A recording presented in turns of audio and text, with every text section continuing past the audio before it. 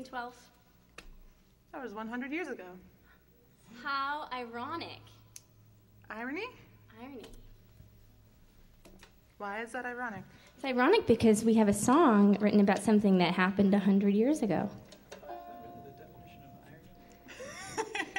I think that would be a coincidence, maybe. Oh, But uh, that, so we're discussing spelling and history and grammar. all kinds of things. Yep, that's what we do. We educate folks. It's like reading Rainbow. Read I can be anything. And I learned all of this in a book. It's true. the sinking of the Titanic was roughly 100 years ago. And my goal was to read every historical account of it before the 100 year anniversary day. How'd that go? I failed. okay. I read one and a half.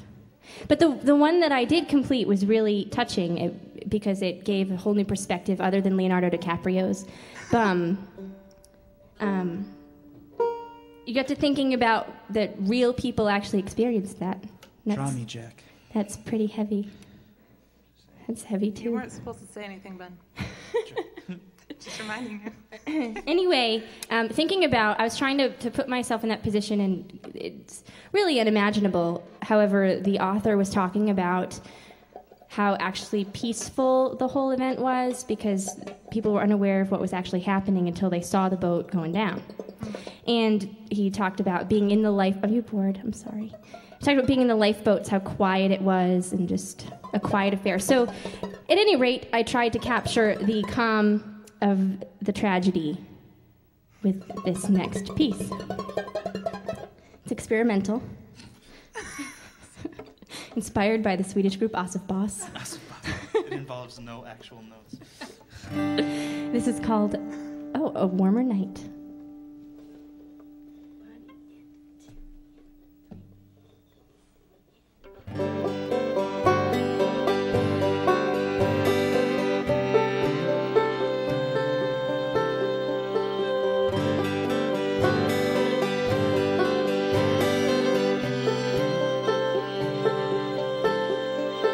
You can hold your mother tight and listen to the water flow. You don't know.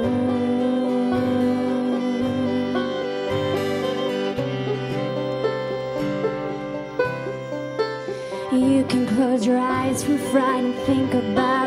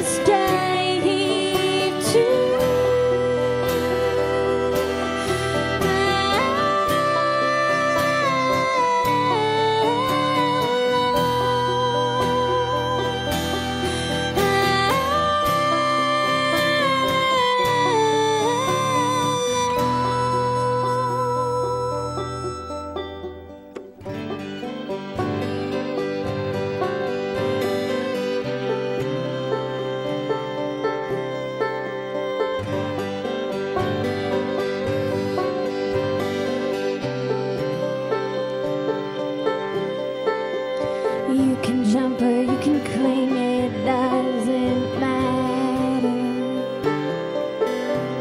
You don't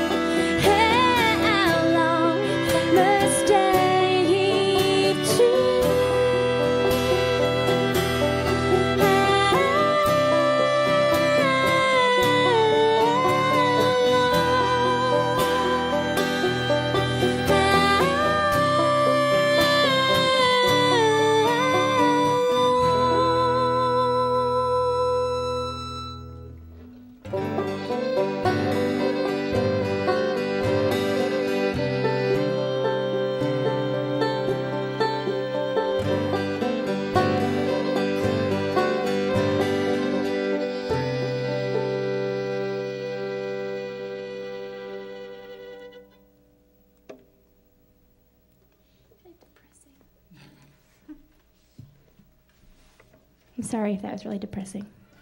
Not sorry enough to not play it again, but you know.